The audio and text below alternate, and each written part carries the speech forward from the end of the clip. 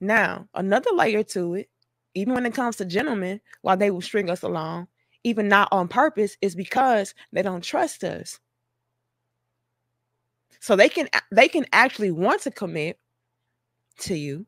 They, they could actually want to be in a relationship with you, but because a lot of females are untrustworthy, I have to stretch this out to see if this is what you're really about.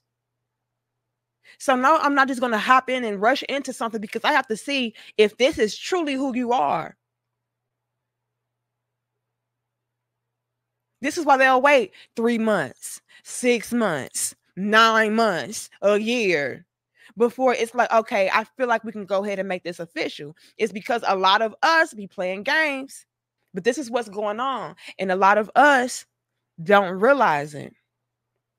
And on top of that, ladies, a lot of us practice a lot of the BS behaviors and have a lot of the the BS mentalities and mind states and lifestyles that a lot of you know no good females practice and have.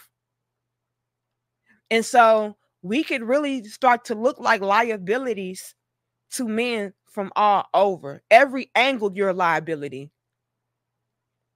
This is why more and more men are finding themselves alone and, and being okay with it. See, it used to be a point to where a lot of uh, brothers, especially, were like, you know what, I, I I really do desire to be married. I really want my family. I really want, uh, you know, to take care of somebody, share my life with somebody, you know, and they were really they they were ready and willing to settle by any means necessary. But now it's like, no, I still desire those things. Don't get me wrong. But it's not in this desperate attempt to obtain it. There's no longer this desperate attempt to attain it to where it's like, oh, okay, well, even if she ain't shit and she got all these damn kids and she got all the baby daddies and she's disrespectful, you know, eh, I'll just work with her and then, you know, I can change her and get her to do better and get that's done. Thank you, Andrew. That's done. So even in my poll earlier, where you had a lot of men saying, you know what, I'm not giving up on American black women. I still love my sisters. I still got hope for y'all.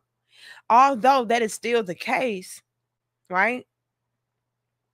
They're not ready and willing to do those things on very risky levels.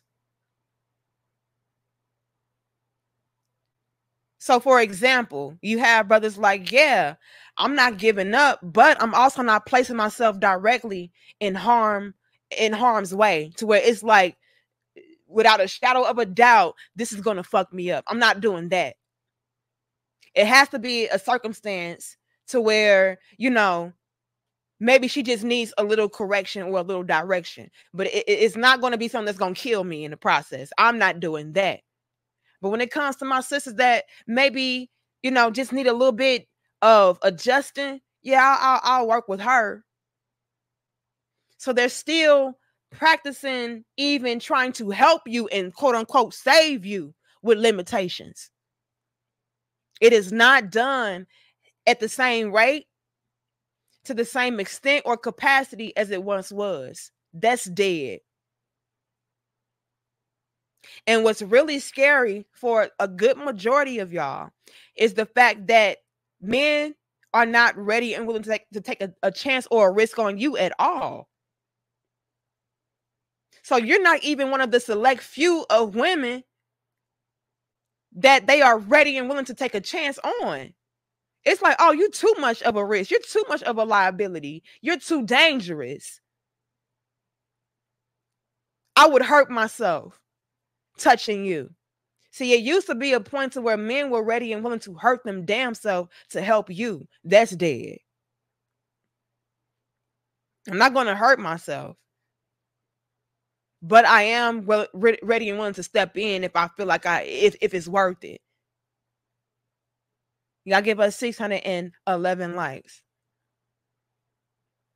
And like I said, since a good chunk of us are not the type that's that is worth the headache, worth the sacrifice, worth the scars, Men are perfectly okay with being alone. And boy, oh boy, have y'all fucked it up. Not only for yourselves, but the other women around you. Because here's the thing it's going to come a, a point in time to where you're going to realize your faults and flaws, and you're going to want a man to take a risk on you. Like, yeah, I messed up, but I got it now. Yeah, I used to be that way, but I got it now. Please work with me. Please see my value. Please see my worth. And they're going to keep flying high alone. So y'all have no idea how much y'all have fucked it up. Because it's gonna come it's going to come. It's a matter of when, not if. When that time comes and y'all are like, damn, all these men are re- uh, are uh, overseas, all these men are by themselves, all these men, you know, already have their woman. Whatever the case, y'all are gonna y'all gonna feel that shit, and it's gonna sting something terribly, something serious. So y'all are really messing it up for yourself and other women around you. Because by a majority of us being on bullshit, men just see us all the same.